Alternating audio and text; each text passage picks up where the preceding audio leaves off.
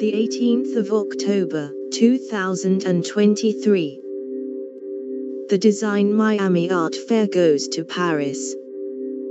In its first Paris edition, Design Miami has drawn nearly 30 exhibitors.